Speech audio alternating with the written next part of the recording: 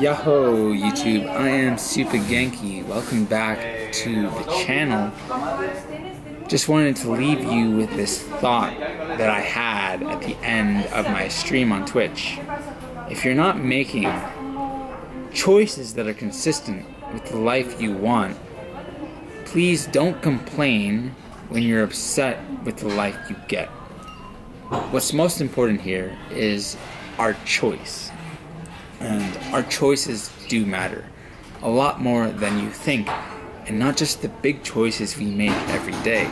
And you might say, well, Supagenki, what's a, what's a big choice?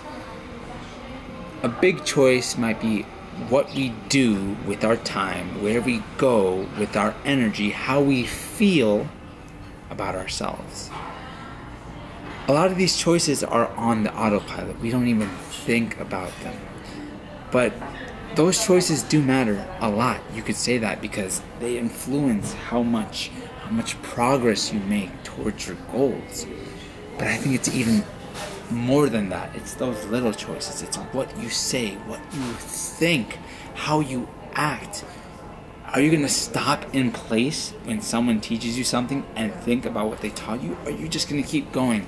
Are you going to leave growth to chance? Because then you will always be stuck in this zone of mediocrity. And look, if you want that life, do it all you want. Okay, I'm there with you. I'm cheering you on. Yeah. But if you want something more, if you want something else, you have to start making choices that are consistent with the person you want to be. You have to start making choices that are consistent with this goal that you want to achieve. It's the only way that you're going to become the person that needs to it's the only way you're going to become the person that you want to be. And I think this is so important.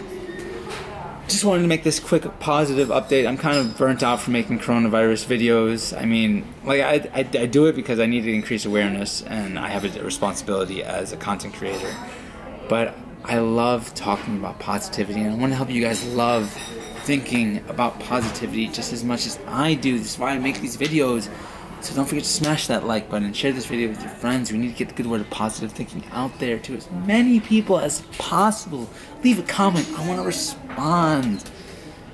But even if you don't do any of that, even if you don't do any of that stuff, just keep coming back because it's a journey, buddies. And to make it alone is hard, but with the community, it gets easier. I'll see you in the next one. Bye bye.